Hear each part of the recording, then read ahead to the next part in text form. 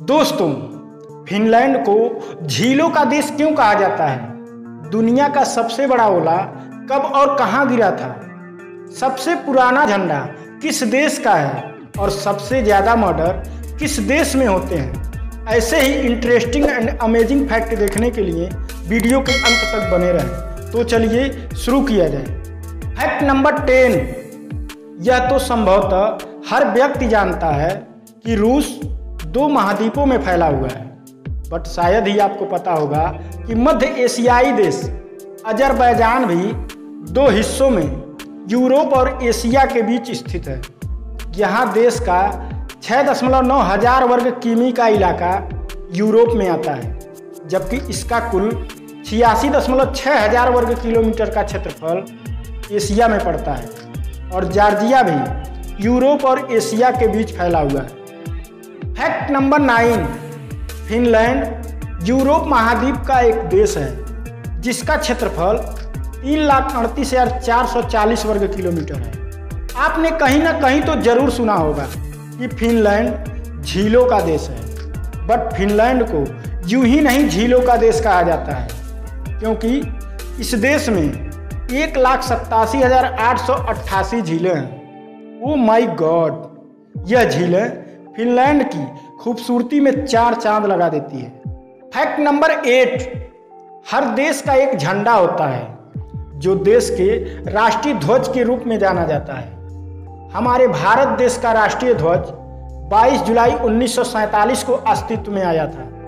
But क्या आपको पता है कि दुनिया में सबसे पुराना झंडा डेनमार्क का है, जो तेरहवीं सदी से अस्तित्व में है? Really amazing.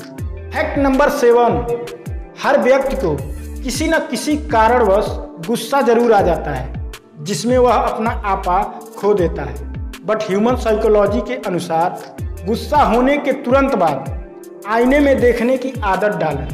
निश्चित तौर पर आप हंस पड़ेंगे। अगर हँसी नहीं आई तो भी आपका गुस्सा शांत ज़रूर हो जाएगा। Try it fact number six हर महीने में एक दिन पूर्णिमा का होता है।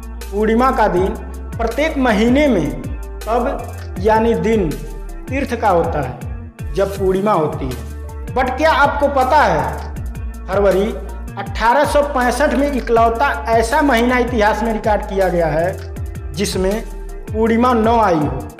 फैक्ट नंबर फाइव, बहुत सारे व्यक्तियों को केला खाना अच्छा लगता है। बट खास बात यह है कि केला अन्य फलों की तुलना में सस्ता भी होता है। केला सबसे ज़्यादा एनर्जी देने वाला फल है। बट शायद ही आपको पता होगा कि दो केले में 90 मिनट तक कड़े व्यायाम करने के लिए ऊर्जा होती है। और तो और, केले को खुशी देने वाला फल भी कहा जाता है। फैक्ट नंबर थ्री जब बरसात होती है तो बरसात में पानी के साथ साथ कभी कभी ओला भी गिरने लगता है, जिनसे फ़सलों को भारी नुकसान पहुँचता है। बट क्या आपको पता है कि दुनिया में अब तक का सबसे भारी ओला बांग्लादेश में सन 1986 में गिरा था। इस ओले का वज़न तकरीबन एक किलोग्राम था। Really amazing. Fact number two, Libya, उत्तरी अमेरिका का एक देश है। जिसका क्षेत्रफल करीब एक लाख अस्सी हज़ार वर्ग किलोमीटर है। बट दुनिया में लीबिया एक ऐसा देश है जहाँ रेत ही रेत है। लीबिया के कुल क्षेत्रफल के 90 प्रतिशत हिस्से में रेगिस्तान है। यह दुनिया का सत्रहवा सबसे बड़ा देश है। बट रेगिस्तान की अधिकता के कारण यहाँ की जनसंख्या मात्र संतावन लाख है। फैक्ट नंबर वन, हर देश में अपराध होते हैं। जिन्हें रोकने के लिए वहाँ की सरकार कई कदम उठाती है। बट बड़े ही शर्म की बात है कि मर्डर के मामले में भारत सबसे आगे है। यहाँ दुनिया के सबसे ज़्यादा मर्डर किए जाते हैं। 2019 के आंकड़े के अनुसार प्रतिदिन भारत में औसतन उन्यासी मर्डर के मामले दर्ज किए गए थे, जिसमें आज भी ज़्यादा सुधार नहीं आया है। अगर आपको वीडियो अच्छी लगी हो तो वीडियो को लाइक, चैनल को सब्सक्राइब करना ना भूलें। Thanks for watching.